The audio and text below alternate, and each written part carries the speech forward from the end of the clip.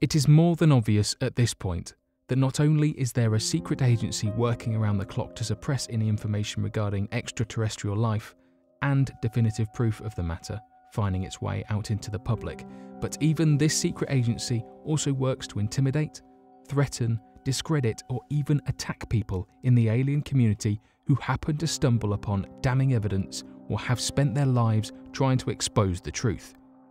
This secret agency, be it an agency that works with the government or above them, has come to be known around the world as the Hidden Men in Black that will stop at no means to prevent the truth from leaking out into the public mind.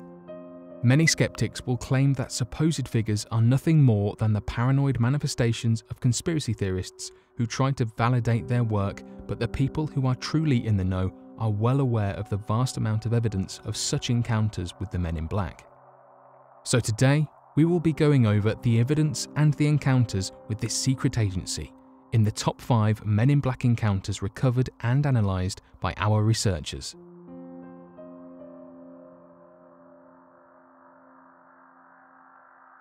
Dr. Herbert Hopkins and the missing coin.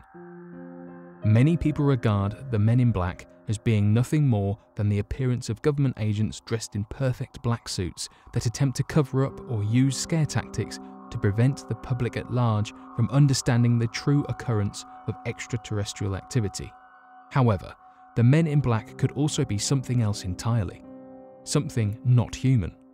This appears to be the case when reviewing the reports made by a Dr. Herbert Hopkins and his strange encounter with an individual who suddenly showed up at his house while he was conducting a private investigation. Dr. Herbert Hopkins was working as a consultant on a case involving a sighting of an unidentified flying object, as well as various other extraterrestrial claims that had occurred in the state of Maine. One night, as Dr. Hopkins was poring over further details of the case he had recovered, he received an eerie phone call from someone who claimed to be an activist in the alien community, who then further stated that not only did he wish to visit Hopkins, but he had additional evidence regarding the case. Dr. Hopkins was thrilled to hear this, as any additional witness testimony and proof brought forward would certainly help him to better understand the situation that had occurred, and so he gave the man the details of his address and directions on how to reach him. Oddly enough, it only took a few minutes before he heard the ring of his doorbell.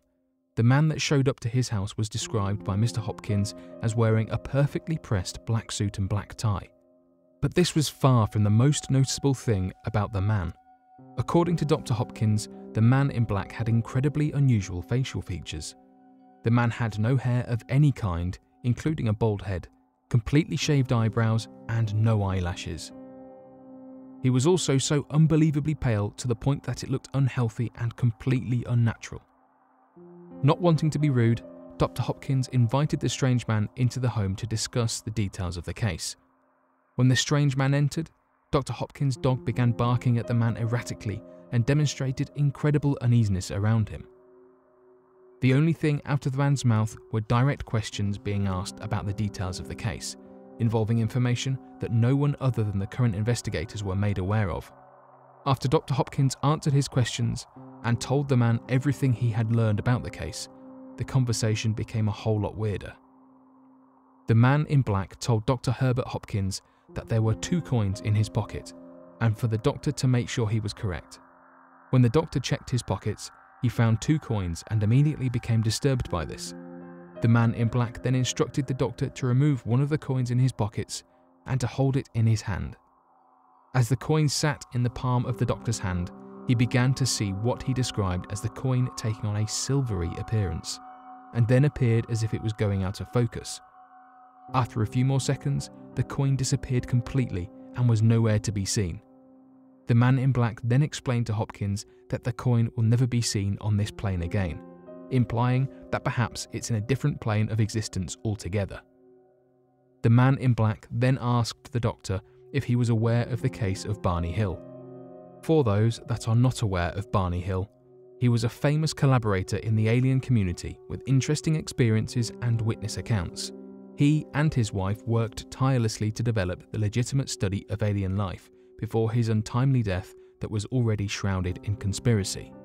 The man in black then told Dr. Hopkins that the reason Barney had passed away was due to them using the same tactic as they did with a coin on Barney's heart. The man in black clarified by saying, just like you no longer have a coin, Barney didn't have a heart. The man in black then told Dr. Hopkins to destroy any material he had related to the UFO case and to no longer participate any further in the alien community. Extremely disturbed by this event, Dr. Hopkins immediately burned all the files he had relative to the case. Dr. Albert K. Bender. Dr. Bender was a highly educated and intelligent man that so strongly believed in the alien phenomenon that he privately funded the creation of his business known as the International Flying Saucer Bureau, that would go on to investigate UFO claims and be a reliable and scientific private consulting firm. This firm would lead to promising results as the doctor was preparing to publish a paper revealing a vast amount of evidence and proof of the cover ups made by the government and scientific evidence of extraterrestrials, forever to change the conversation about occurrences. This changed entirely after Dr. Bender claimed that three men, dressed in all black suits, went to his house and demonstrated supernatural abilities and threatened for him to shut down the Bureau and to destroy all of his files. Many of the doctor's colleagues and friends reported Bender as being a completely changed man after this Men in Black encounter, saying that he lived his life in constant paranoia and anxiety from then on, and refused to even talk about anything relating to the extraterrestrial, supernatural, or paranormal. Interestingly enough, Dr. Albert Bender wrote about strange phone calls that plagued him throughout his life, even up until his death in 2002. The Spaceman and the Men in Black. Jim Templeton, a father looking to spend a nice afternoon with his daughter, took a picture that would forever change his life.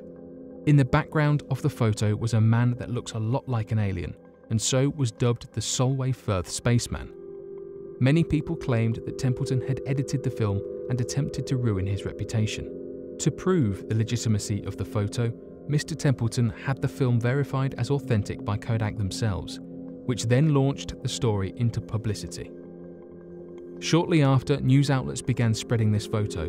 Two government agents who identified themselves as 9 and 10 visited Templeton and demanded to see the site the photo was taken. It wasn't until a few years later that Templeton began making a strange connection.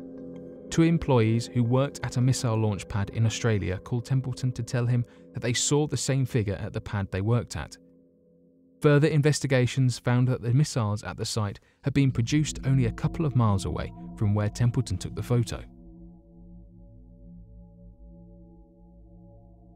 Photographic proof of the men in black. Evidence of the men in black has been gathered to this day, but the most prominent of this evidence comes from a photo taken by Tim Green Beckley. Beckley was told by his friends Jack Robinson and Mary Robinson, who were prominent researchers in the UFO community, that strange men in black were going through their home, stealing or destroying files and even staring at their apartment from across the street. Eager to gather proof, Mr. Beckley went out to the Robinson home and found their claims to be true. He then took photographs of the men in black standing across the street, staring at the house, and appears to be one of the most ironclad pieces of proof of these men in black. Dan Aykroyd and the Paranormal.